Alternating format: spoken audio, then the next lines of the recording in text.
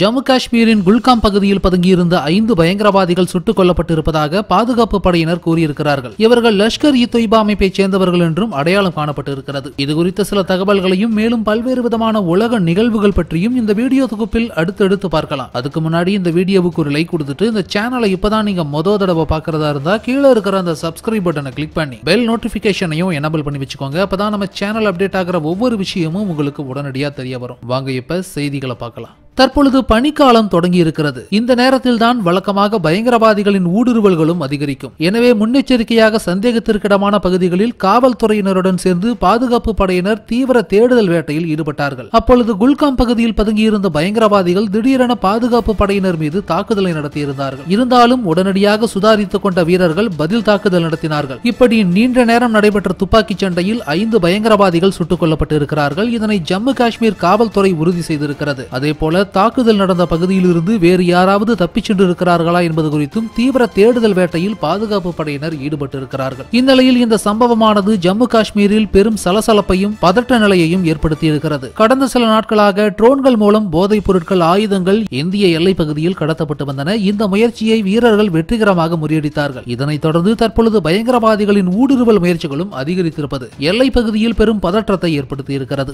இது தவிர இன்னொரு முக்கியமான உலக நிகழ்வு என்னவென்றால் இஸ்ரேல் மற்றும் ஹமாஸிற்கிடையேயான போர் ஒரு மாதத்திற்கு மேலாக தொடர்ந்து வருகிறது. முதலில் இந்த தாக்குதலை ஆரம்பித்தது ஹமாஸ் என்றாலுமே கூட. இஸ்ரேல் ராணுவம் உடனடியாக பதிலடி கொடுத்து தீவிர தாக்குதலை ஆரம்பித்து விட்டது. காசா மீது தொடர்ச்சியான ஏவுகணை தாக்குதலை நடத்திய இஸ்ரேல் படையெடுப்பையும் ஆரம்பித்தது. தங்கள் நாட்டை தாக்கிய அனைத்து ஹமாஸ் வீரர்களையும் கொன்றே தீருவேன் என்ற முனைப்பில் இஸ்ரேலானது தாக்குதல் நடத்தி வருகிறது. இப்படி காசா மருத்துவமனைகள் மீது இஸ்ரேல் நடத்தக்கூடிய தாக்குதல்கள் மிகப்பெரிய சர்ச்சையாகின்றன. ஏனென்றால் பொதுவாக எந்த ஒரு போர் என்றாலும் மருத்துவமனைகள் போல பொதுமக்கள் ஒன்று கூடக்கூடிய இடங்களில் தாக்குதல்கள் நடத்தப்படாது. ஆனால் இஸ்ரேல் தொடர்ச்சியாக காசாவின் மருத்துவமனைகள் மீதே தாக்குதல் நடத்துவது சர்ச்சைக்குள்ளானது. இதற்கு அமெரிக்கா உள்ளிட்ட பல நாடுகளும் கடும் கண்டனங்களையும் தெரிவித்திருந்தன. இதற்கிடையே ஹமாஸ் சுரங்கப்பாதைகளின் கட்டுப்பாட்டு மையங்கள் இந்த மருத்துவமனைகளின் அடியில் தான் இருப்பதாக இஸ்ரேல் பரபரப்பான குற்றச்சாட்டை முன்வைத்தது. இதற்கு ஆதாரமாக இஸ்ரேல் அங்கிருந்து எடுக்கும் பல வீடியோக்களை தொடர்ச்சியாக வெளியிட்டு வருகிறது. இதற்கிடையே பயங்கரவாத செயல்களில் ஈடுபட தேவையான வெடிபொருட்கள் மற்றும் ஆயுதங்களை சேமித்து வைக்க ஹமாஸ் படை மருத்துவமனைகளை பயன்படுத்துவதாகவும் இஸ்ரேல் கூறியிருக்கிறது. இது தொடர்பாக இப்பொழுது இஸ்ரேல் ராணுவம் புதிய வீடியோ ஒன்றை வெளியிட்டிருக்கிறார்கள். அல் ஷிஃபா மருத்துவமனையில் இருக்கக்கூடிய கட்டிடத்தை ஹமாஸ் படை கட்டளை மையமாக பயன்படுத்தி வருவதாக இஸ்ரேல் பாதுகாப்பு படை தெரிவித்திருக்கிறது. அங்கே இரண்டாயிரம் பேர் இருப்பது போல காட்டி அவர்களுக்கு பின்னால் ஹமாஸ் படை பதுங்கி இருப்பதாகவும் இஸ்ரேல் பாதுகாப்பு படையானது தெரிவித்திருக்கிறது. இந்த விவகாரத்தில் இஸ்ரேல் பாதுகாப்பு படை வெளியிட்டிருக்கக்கூடிய வீடியோவில் அந்த நாட்டின் ராணுவ செய்தி தொடர்பாளர் ஜோனாத்தன் கான்ட்ரிகஸ் ஒளிப்பதிவாளர்களுடன் மருத்துவமனை வளாகத்தில் இருக்கக்கூடிய ஹமாஸின் ஆயுத கடங்கில் நுழைகிறார். மருத்துவமனை வளாகத்தில் ஹமாஸ் எப்படி ஆயுத கடங்கை வைத்திருக்கிறது என்பதை அவர் விளக்குகிறார். ஒரு நொடி கூட எடிட் செய்யாமல் இந்த வீடியோவை அப்படியே எடுத்து வெளியிட்டிருப்பதாக இஸ்ரேல் தரப்பில் குறிப்பிடப்பட்டிருக்கிறது. மேலும் அவர் கூறுகையில் என்ன தெரிவிக்கிறார் என்றால் எந்த ஒரு சந்தேகமும் வேண்டாம். ஹமாஸ் வேண்டுமென்றே திட்டமிட்டு தன்னுடைய ராணுவ நடவடிக்கைகளுக்கு மருத்துவமனைகளை பயன்படுத்துகிறது என்கிறார் அவர். மேலும் அவர்கள்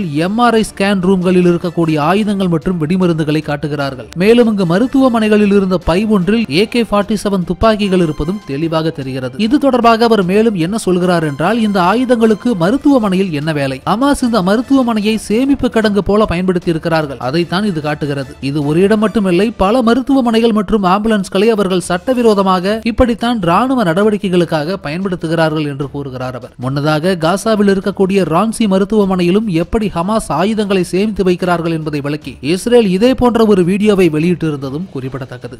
இது தவிர இன்னொரு முக்கியமான தகவல் என்னவென்றால் சீனாவிலிருந்து மேலும் ஒரு உளவு கப்பல் இலங்கைக்கு வருகிறது. இதற்கு இந்தியா கடும் எதிர்ப்பு தெரிவித்திருப்பதாகவும் ஒரு தகவல் வெளியாகியிருக்கிறது. அது என்ன என்பதை பற்றியும் இப்பொழுது பார்க்கலாம். இலங்கை கடல் பகுதியில் ஆய்வு பணி என்கின்ற அடிப்படையில் சீனா தன்னுடைய உளவு கப்பல்களை அவ்வப்பொழுது இலங்கைக்கு அனுப்பி வைக்கிறது. இந்தியாவும் இதற்கு அடிக்கடி எதிர்ப்பு தெரிவித்து வருகிறது. சீன உளவு கப்பல்கள் இலங்கையின் ஹம்மந்தோட்டா கொழும்பு உள்ளிட்ட பல பகுதிகளுக்கு அடிக்கடி வந்து செல்கின்றன. இந்த கப்பல்கள் அனைத்துமே உயர் தொழில்நுட்பம் கொண்ட உளவு கப்பல்கள். இந்த கப்பல்கள் இலங்கை கடல் பரப்பில் இருக்கக்கூடிய பொருளாதார வளம் பற்றி ஆய்வு செய்வதற்காகவே வருவதாக சொல்லப்படுகிறது. ஆனால் அந்த கப்பல்கள் இந்தியாவை உளவு பார்ப்பதற்காகத்தான். இலங்கை கடல் பகுதிக்கு அடிக்கடி வருவதாக இந்தியா குற்றம் சாட்டுகிறது. அதோடு இந்த சீன கப்பல்கள் இலங்கை கடல் பகுதியில் நின்றபடியே தமிழக கடல் பகுதிகள் மற்றும் தமிழகத்திற்குள் இருக்கக்கூடிய இந்திய படைகள் ஆகியவற்றை பற்றி முழுமையான தகவல்களை கண்காணித்து அறிந்து கொள்ளும் பணிகளில் ஈடுபடுவதாகவும் தென் மாநிலங்களை உளவு பார்ப்பதாகவும் இந்தியாவின் தரப்பில் கூறப்படுகிறது. சீன உளவு கப்பல் இந்தியாவின் பாதுகாப்பிற்கு அச்சுறுத்தலாக இருப்பதாலேயே அவை இலங்கைக்கு வர இந்தியா கடும் எதிர்ப்புகளையும் தெரிவிக்கின்றன. இப்படிப்பட்ட சீனாவின் உளவு கப்பலை இலங்கையின் கடல் பகுதி பகுதிகளுக்குள் அனுமதிக்க கூடாது என்று இந்தியாவின் தரப்பில் இலங்கை அரசிடம் பலமுறை கேட்டுக் கொள்ளப்பட்டது ஆனாலும் இலங்கை அரசால் சீன கப்பலை தடுக்க முடியவே இல்லை. காரணம் இலங்கை அரசு சீனாவிடமிருந்து சில வருடங்களுக்கு முன்பு அதிக அளவில் பொருளாதார உதவிகளை பெற்றிருக்கிறது. இந்த நிலையில்தான் சீனாவின் உளவு கப்பலான ஷின்ஜான் சிக்ஸ் கடந்த மாதம் இலங்கைக்கு வந்தது. அந்த கப்பல் இலங்கையின் கடல் பகுதிக்கு வெளியே இந்திய பெருங்கடல் பகுதியில் நிறுத்தி வைக்கப்பட்டிருந்தது. இந்த கப்பல் கடந்த இரண்டு வாரங்களுக்கு முன்பு கடல் ஆய்வு பணிகளில் ஈடுபட்டதாகவும் கூறப்பட்டது. ஆனால் அந்த கப்பலும் இந்தியாவை உளவு பார்ப்பதற்காகத்தான் வந்ததாகவே இந்தியாவின் சார்பில் இலங்கை அரசிடம் தெரிவிக்கப்பட்டது. அதோடு இந்த கப்பல் கொழும்பு செல்வதற்காக காத்திருக்கிறது. ஆனால் அந்த கப்பல் சீனாவிற்கு எப்பொழுது திரும்பும் என்பது இன்னும் அறிவிக்கப்படவே இல்லை. இந்த நிலையில்தான் சீனாவிலிருந்து மேலும் ஒரு உளவு கப்பல் இலங்கைக்கு வருவதாக சொல்லப்படுகிறது. Xiang Yang Hong zero three என்ற பெயர் கொண்ட இந்த கப்பல் அதிநவீன தொழில்நுட்பம் கொண்டது என்று சொல்கிறார்கள். அதோடு இது ஒரு பல்நோக்கு கப்பலாகும். இந்த கப்பலை இலங்கைக்கு அனுப்ப அந்த நாட்டிடம் சீனா தற்பொழுது அனுமதி கேட்டிருக்கிறது. அதோடு இந்த கப்பல் சீனாவின் இயற்கை வள அமைச்சகத்துக்கு சொந்தமானது என்றும் சொல்லப்படுகிறது. இலங்கை கடற்பரப்பின் பொருளாதார வளத்தை ஆராய்ந்து இலங்கைக்கு உதவுவதற்காகவே இந்த கப்பல் அனுப்பி வைக்கப்படுவதாக மீண்டும் மீண்டும் காரணம் சொல்லப்படுகிறது. Xiang Yang Hong zero three என்ற இந்த அதிநவீன கப்பல் வருகின்ற ஜனவரி மாதம் இலங்கைக்கு வருகிறது. ஜனவரி ஐந்தாம் தேதி முதல் பிப்ரவரி இருபதாம் தேதி வரையிலும் நாற்பத்தி ஐந்து நாட்களுக்கு இந்த கப்பல் இலங்கை கடல் பகுதியில் நிறுத்தப்பட்டு பல்வேறு ஆய்வுகளை நடத்த திட்டமிட்டு இருப்பதாக சீனாவின் தரப்பில் சொல்கிறார்கள். அதோடு இந்த கப்பலை பொறுத்தளவிலும் தொண்ணூத்தி ஒன்பது புள்ளி பூஜ்ஜியம் ஆறு மீட்டர் நீளம் கொண்ட பல்நோக்கு கப்பலாக இருக்கும் என்று தெரிவிக்கப்பட்டிருக்கிறது. இந்த அதிநவீன உளவு கப்பலால் இந்தியாவிற்கு ஆபத்து ஏற்படும் என்பதால் சீன கப்பல் வருகைக்கு இந்தியா மீண்டும் தன்னுடைய கடும் எதிர்ப்பினை பதிவு செய்திருக்கிறது. அதோடு அந்த கப்பல் இலங்கை வருவதற்கு இலங்கை அரசு அனுமதி அளிக்க கூடாது என்று இலங்கைக்கு இந்தியாவின் சார்பில் அழுத்தம் கொடுக்கப்பட்டு வருகிறது. இதில் இலங்கை அரசு என்ன முடிவு எடுக்கும் என்று இந்தியா எதிர்பார்த்து காத்துக் கொண்டிருக்கிறது. அதோடு இந்த கப்பல் இலங்கைக்கு வருவது குறித்து உங்களுடைய கருத்து என்ன? உண்மையிலேயே இந்த கப்பல் இந்தியாவின் எல்லையோர பகுதிகளையும் தமிழகத்தின் உள்பகுதிகளையும் நோட்டமிடுவதற்காகவும் கண்காணிப்பதற்காகவும் உளவு பார்ப்பதற்காகவும் தான் வருகிறதா என்பதில் உங்களுடைய கருத்து என்ன? இதனை நீங்கள் உண்மை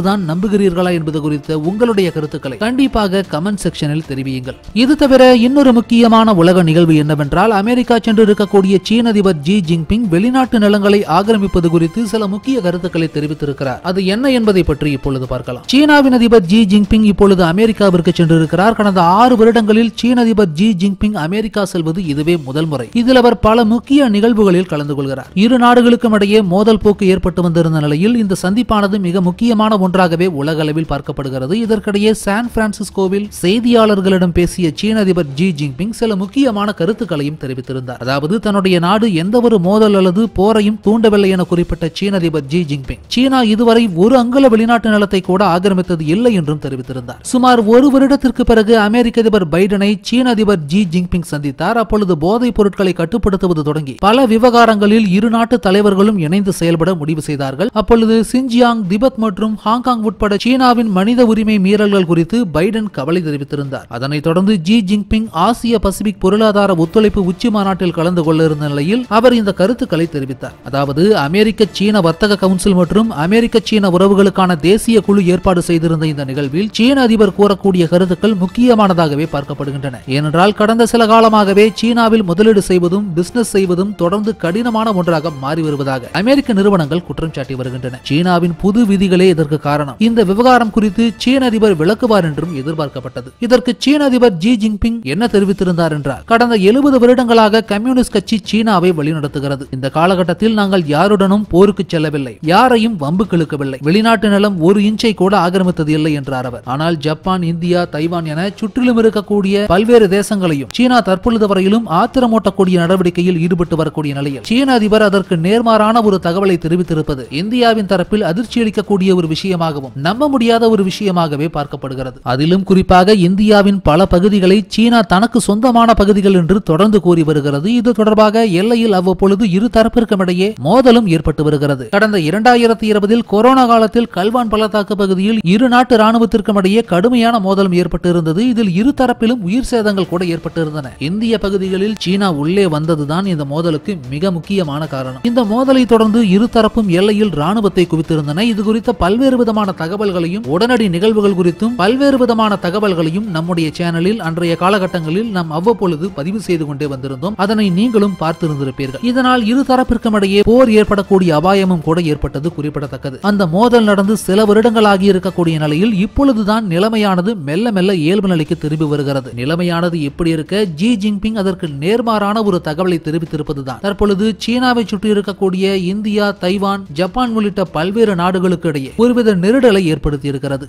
மேலும் இதுபோன்று பல்வேறு விதமான செய்திகளையும் தகவல்களையும் நீங்கள் உடனுக்குடன் தெரிந்து கொள்ள விரும்பினால் உடனடியாக நம்முடைய நியூ அல்டிமேட் சேனலை சப்ஸ்கிரைப் செய்து கொள்ளுங்கள்.